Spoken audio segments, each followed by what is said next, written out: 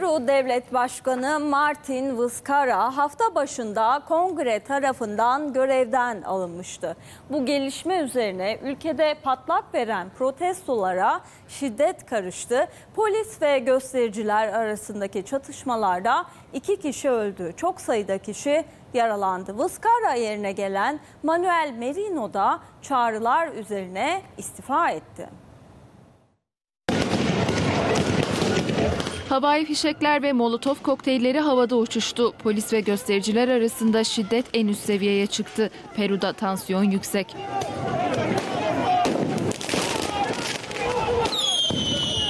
Sokaktaki gerilimin nedeni hükümet krizi. Peru Devlet Başkanı Martin Vizcarra'nın hafta başında Peru Kongresi'ndeki oylamada görevden alınmasının ardından Senato Başkanı Manuel Merino yeni devlet başkanı olarak parlamentoda yemin etti.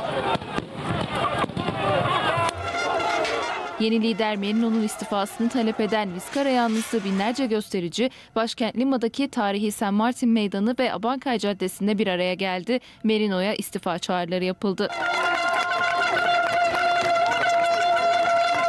Eylemcilerin parlamento binasına doğru yürüyüşe geçmesi üzerine polisle protestocular arasında arbede yaşandı. Göstericilerden bazıları polise havai fişek attı, taş fırlattı. Polis ise göz yaşartıcı gaz ve tazikli suyla müdahale etti.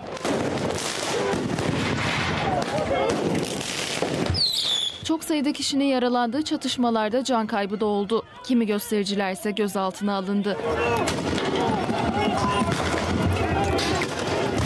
Peru Kongresi Başkanı ve Lima Belediye Başkanı da Merino'ya istifa çağrısı yaptı. Öte yandan Amerikan Devletleri Örgütü Peru hükümetinin talebi üzerine ülkeye heyet gönderme kararı aldı.